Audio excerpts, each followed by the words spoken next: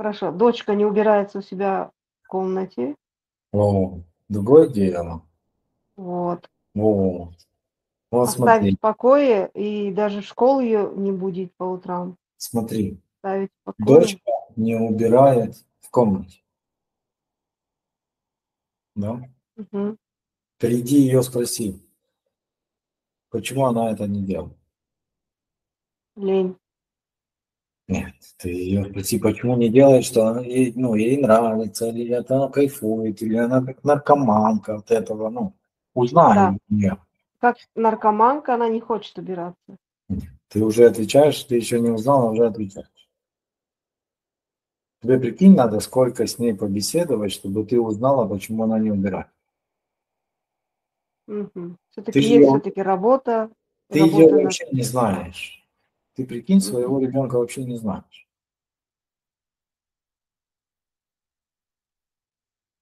Ладно, там, ты себя не знаешь, а ее почему ты не знаешь. Как я ее могу знать, когда я себя тут еле знаю.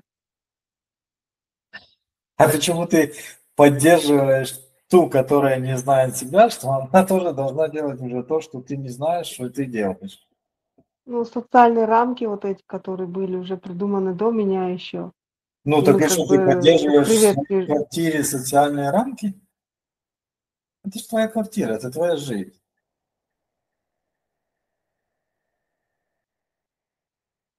Это твой ребенок, ничего себе, ты что, родила для социума ребенка, робота какого-то? Ну, вот это что надо, что нельзя. А, так ты ж, алло, бог, что-то ты мне здесь ребенка не того прислал вообще, ты что?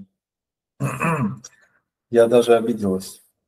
Ну просто, ну я захожу в комнату, а там м, вообще. Хм, А что, ее в школу можно не будить, да? А что она? Типа не проспит? Так она же не будет ходить в школу. Бог, ты что? Ну, здесь у нас все должны ходить.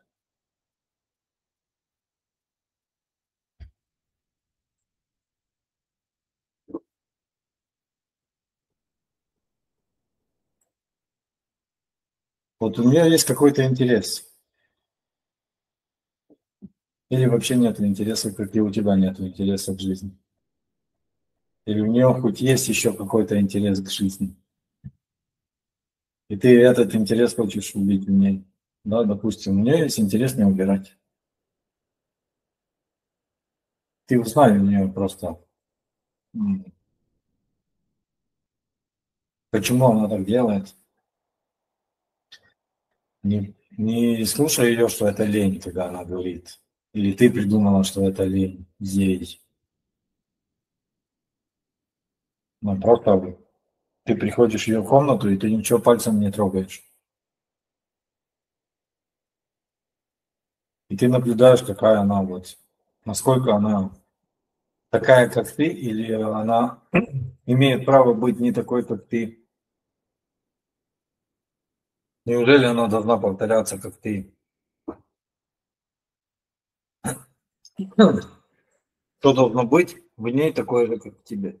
Почему? Ничего. Ну, значит, супер, она не убирает в комнате. Молодец. На тебя не похоже.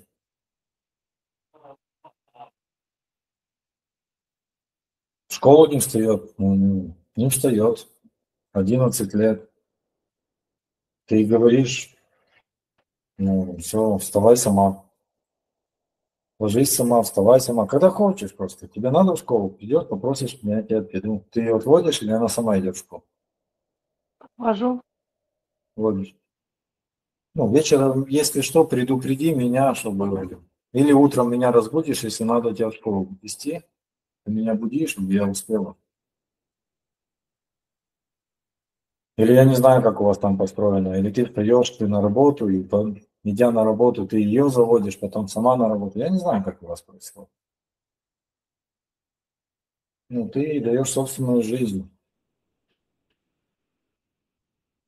Иногда страшно это в начале, а потом она же, ну, не глупая, ей же будет самой страшно, что кем она вырастет здесь. У нее уже социум много чего забил и сделал ее зависимой. Да. И сложно будет быть отшельником здесь. Поэтому она сейчас не захочет быть отшельником, потому что она будет бояться, что она здесь не выживет. И она будет делать то, что вот, все, что от нее будет зависеть, она все будет стараться делать ну, по своим возможностям. Не по твоим возможностям, которые ты желаешь, а по своим. Насколько она может, насколько она, сколько у нее силы на это все есть. И она это будет делать. Понятно, что у тебя сил больше. Ну, кажется. Потому что телом ты выросла, а умом нет. Сознанием не выросла. Сознанием ты такая же маленькая, как и она. Потому что если бы ты сознанием выросла, то ты бы понимала, что она маленькая, она не, ну, не родилась, она здесь вундеркиндом. Ее постепенно надо познавать жизнь. Она постепенно будет познавать жизнь ее сознание будет постепенно, постепенно познавать жизнь. Так же, как и твое сознание постепенно познает жизнь. Но ты хочешь, чтобы уже это было.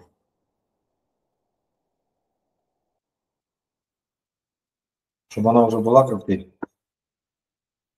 Мне лучше пусть сама познает этот мир сама. Конечно, она же вообще по-другому будет познавать. Потому что я-то познавала без айфонов.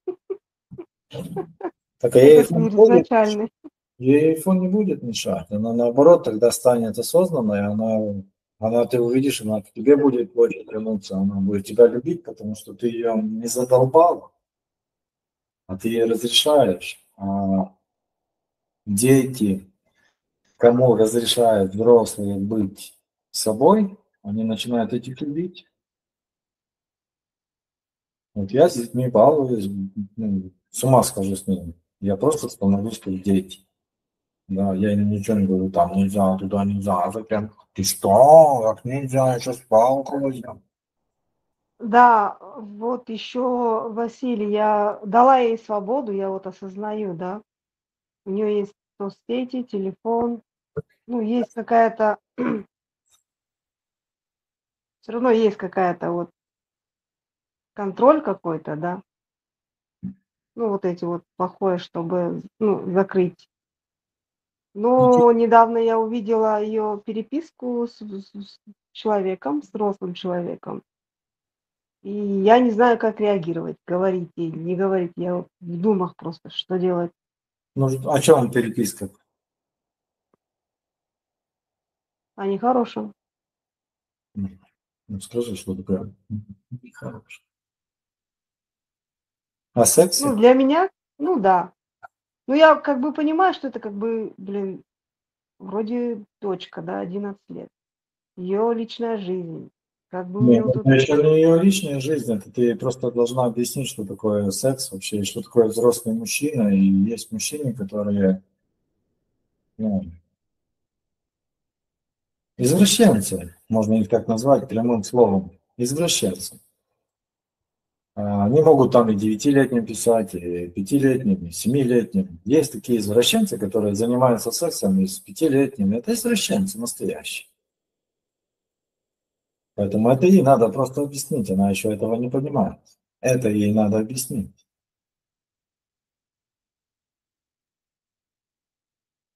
Я с краю это все объясняю, но без того, что я увидела. Без краю, нет, прямыми словами, вот так прямо в лоб. Угу. Если она уже об этом пишет, значит, она знает, что такое секс. Я знал, что такое секс в третьем классе. Это сколько лет, я не знаю. А в каком классе? Десять, десять, наверное. Девять, ну, нет, девять. Ей одиннадцать, ну, ты должна объяснить это. Ну, что это такое, секс. Все про секс уже ей расскажи. Что секс это для зрелых девочек, это еще рано ей. Просто объясни ей. Не жди, что ей кто-то другой объяснит. Ты мама, ты ей объясняешь. Про член, про письку, про секс, про все. Не бойтесь объяснять детям про секс. Это лучше, чем кто-то им объяснит. Прямым текстом ей говоришь, не бойся, что она что-то не поймет или что. Все она поймет.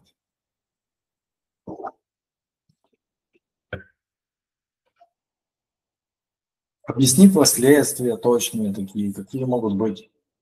Не придумывая реальные последствия просто. Мгм. Реальные новости можно прочитать с ней, что случается. Не надо. Ой, ну с тобой может такое случиться. Нет, прямо в лоб. Детям нравится, когда им все вот прямо вот так раскрывают. Все, вот, на, смотри. Потому что потом, как ты закрываешь от нее какие-то знания, так она закрытая потом не будет ходить. Она будет от тебя скрывать, она не будет делиться ничем. А так она будет тебе доверять и будет с тобой делиться. Ты с ней полностью на все темы. Что тебе хочется, или что она спрашивает, смерть, смерть вот такая вот. Откуда ты пришла, родилась, член, влагалище, ты там родилась, оттуда ты вылезла. Полностью все, все, все осталось.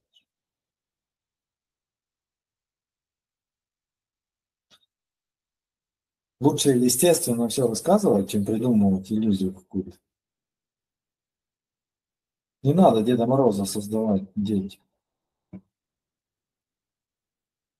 Не надо Бога рассказывать, про которого никто не знает, что такое Бог, а про Бога все рассказывают. Ты можешь церковь прийти и сказать, расскажите мне, что такое Бог. Вы мне не рассказываете, что это Бог, Бог где-то на небе живет. Вы мне просто объясните, что такое Бог. Потом говорят о Боге, а что такое Бог, никто не говорит.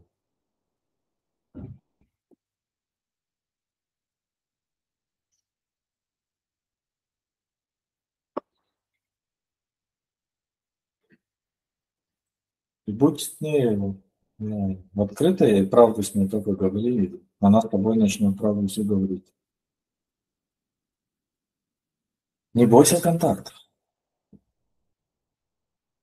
Потому что ты не то разрешаешь.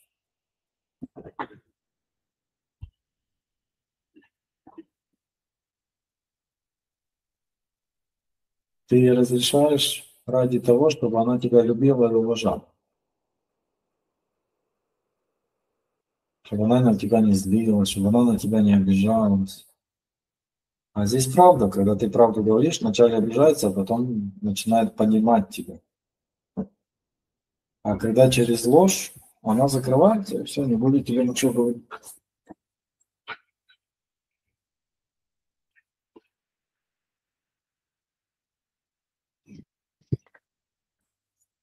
Да, честность.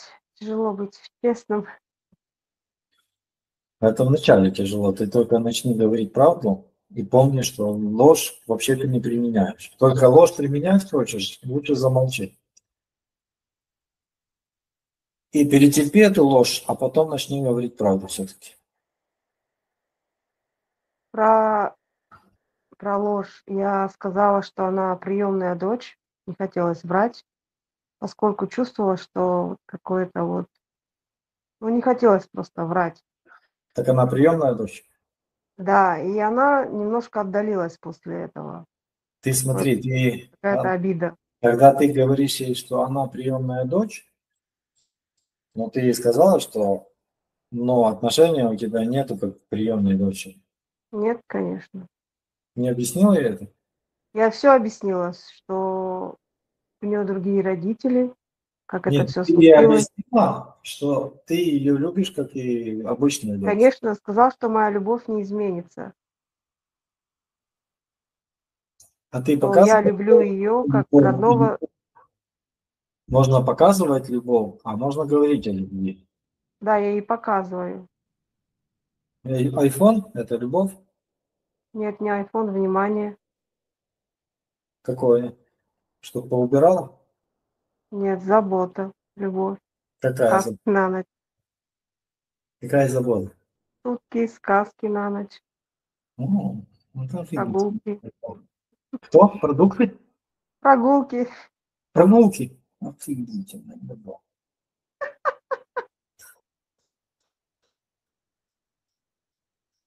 Нежность. О, как ты нежность выражаешь. А что, ты опять не поубирала? Да я и вообще не говорю убираться в комнате вообще. Я сама убираюсь. А, это любовь называется. Любовь это ты когда приходишь и не убираешь. Это любовь.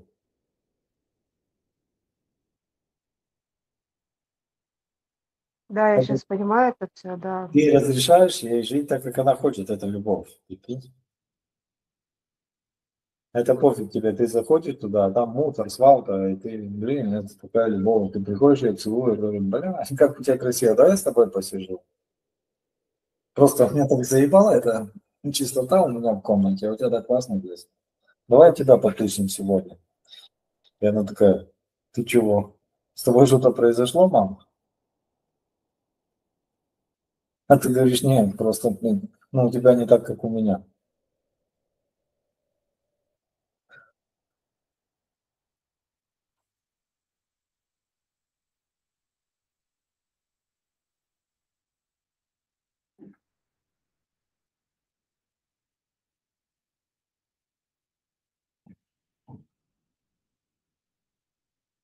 Любовь это, блин, ну, ты что, ну, ты-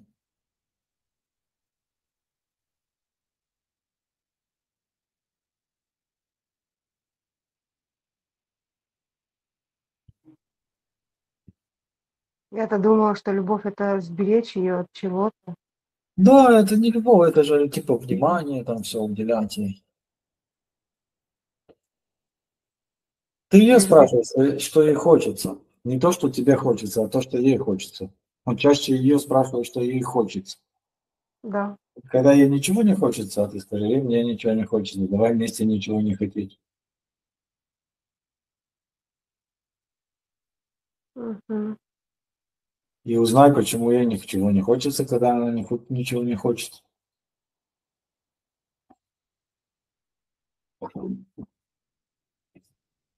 Познавай с ней мир, ее.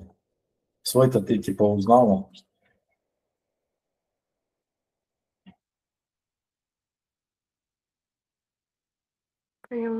Спасибо. Пожалуйста.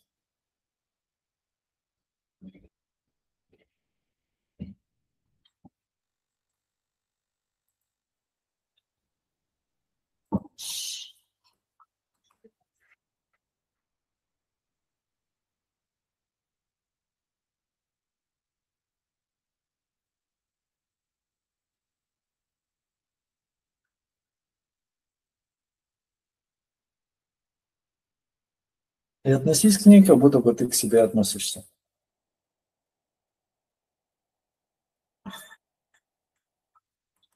Не как к сыну, а как к себе относишься. Потому что и к сыну ты относишься не как к себе.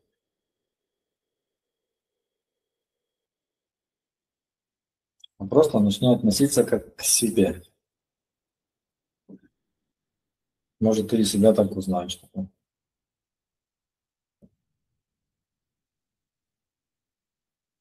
Ты где-то увидишь, где ты себе запрещаешь что-то, когда ты будешь к ней относиться как к себе.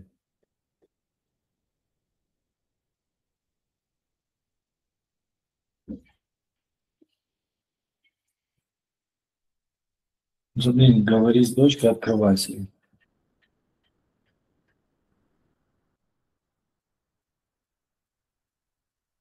Ничего не скрывать мне.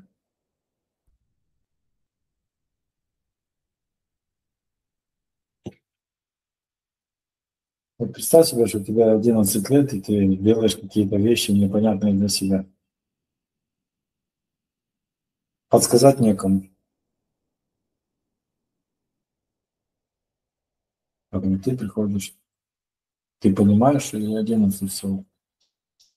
ей надо подсказать.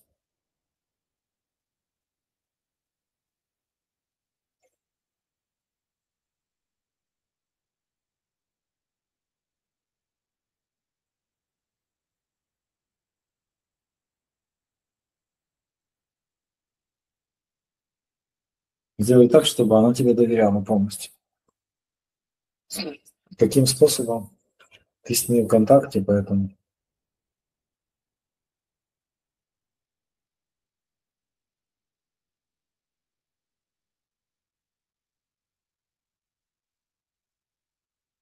Когда ты с ней общаешься, когда ты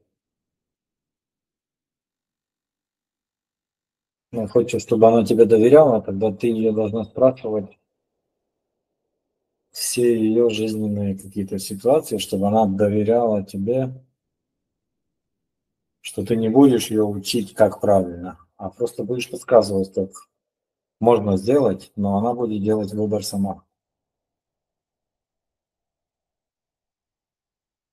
Что ты ее не хочешь учить, а ты хочешь просто подсказать, как ну, жить в этой жизни.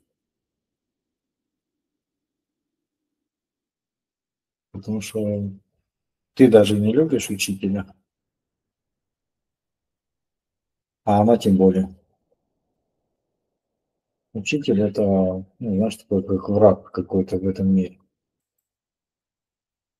А когда понимающий человек, это уже другое. Понимающий всегда что-то подскажет, а не укажет.